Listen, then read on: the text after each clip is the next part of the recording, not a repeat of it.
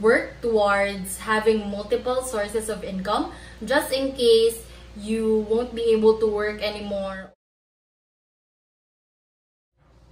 Hi everyone, this is Charm again from Ready to Adult Philippines, a channel about personal finance, entrepreneurship, and adulting how-tos. Usually, when we talk about income, the first thing that comes to mind is the salaries we get as employees or business owners.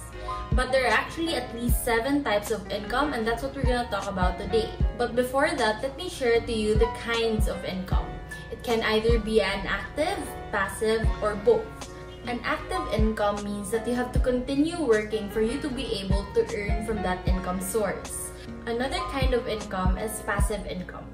Passive income means that you can still earn from that income source with little to no work. And there are some kinds of income as well that combine both active and passive. So let's start discussing the seven kinds of income. The first income is earned income.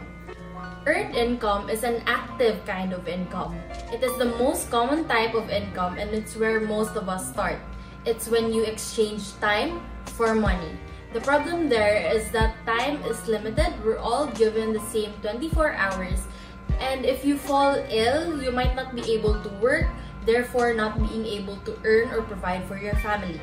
Examples of earned income are salaries, wages, bonuses, and commissions but earned income is also one of the most taxed form of incomes. In the Philippines, if you earn more than 250,000 pesos a year, you can be taxed from 20 to 35%. The second type of income is profit income. Profit income can be both an active or passive form of income. With profit income, you can be both self-employed or an employer who runs a business. You get profit income by selling a product or service for a profit.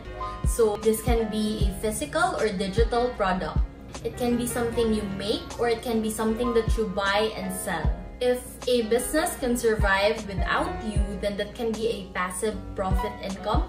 But if not, like you're the one baking your cookies or you're making your artwork, then that's still considered an active form of income. Profit income for individuals and businesses are taxed differently. But similar to the earned income, they can still be taxed anywhere from 0 to 35%.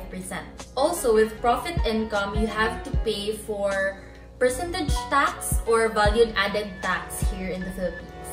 The next source of income is interest income. Interest income is a passive form of income Interest income is when you lend money to the government, companies, or institutions like banks, bonds, time deposits, like lending money to your bank through cash deposits. If you notice in your bank account, every month you get a small portion of profit and that's the interest profit you get from the bank. It usually ranges from 0.25% to 1%.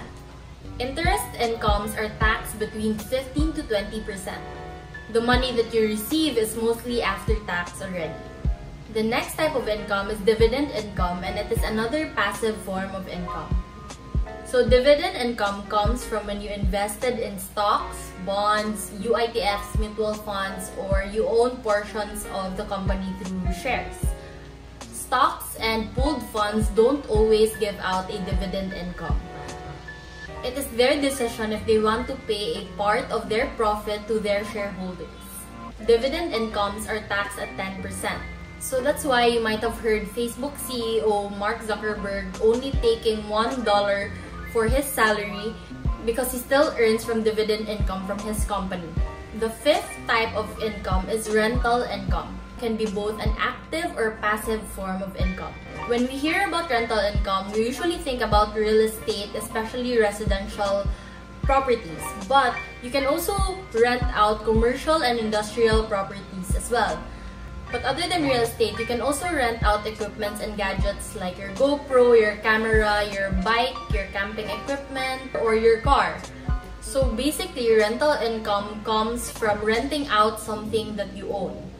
Rental income in the Philippines is taxed between 3 to 12%.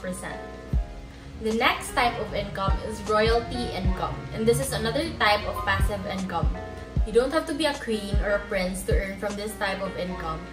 This type of income comes from when you write a literary piece like a book or you produce music or you own intellectual properties like patents, trademarks, copyrights to things that other people may want to use.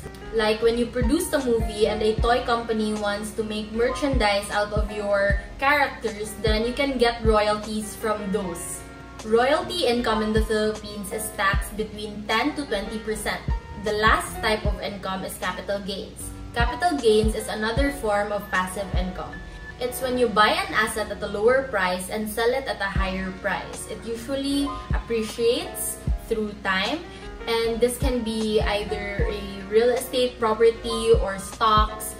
When you sell your stocks or your shares, from a company that's listed in the Philippine Stock Exchange, then it's 0.6%. But when you sell your stocks or shares from a non-listed company, meaning they're not in the Philippine Stock Exchange, then you're taxed at 15%. If you're trying to sell a real estate property, then you're taxed at 6%. So with capital gains, it ranges between 0.6% to 15%. So other types of income that I'm not gonna go in detail in this video are prizes and winnings. Just because these are usually based on luck and the seven types of income that I've talked to you about are things that you can work towards. You don't have to have all of these types of income, but it is good to work towards having multiple sources of income just in case you won't be able to work anymore or your business fails or your stocks aren't doing well. It's always good to diversify not only in your investment portfolio but also with your source of income. So that's it for this video. I hope you learned something and feel free to like this video, subscribe to my YouTube channel, click the notification bell so that you will be notified once I upload another video. You can comment down below which types of income you have right now or which types of income you want to work towards. And I will see you in my next video. This has been Charm from Ready to Adult Film.